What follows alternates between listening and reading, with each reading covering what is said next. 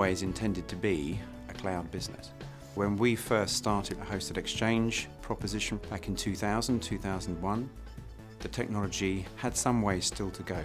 We started with virtually zero customers. We accelerated on the number of services we did around email and developed a capability to create large-scale exchange-based infrastructure. Cobweb learnt how to deliver cloud-based solutions.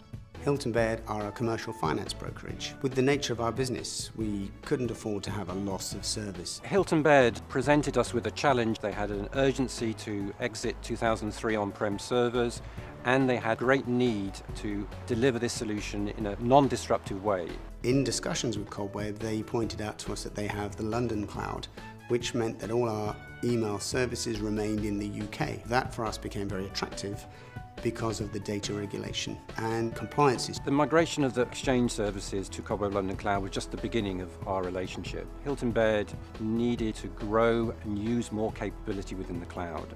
By the end of day two, we had the whole of our email system live and we were migrating our data up into the London cloud. As one of the first CSP uh, customers, we had the opportunity to offer them Office 365 services to bring up to date their capabilities around Word, Excel, PowerPoint and obviously Outlook. We're not finished yet.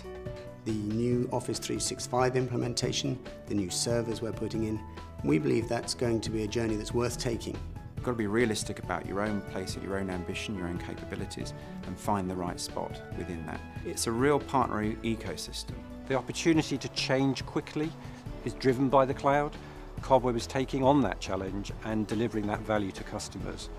So partners, look at the cloud to drive your change.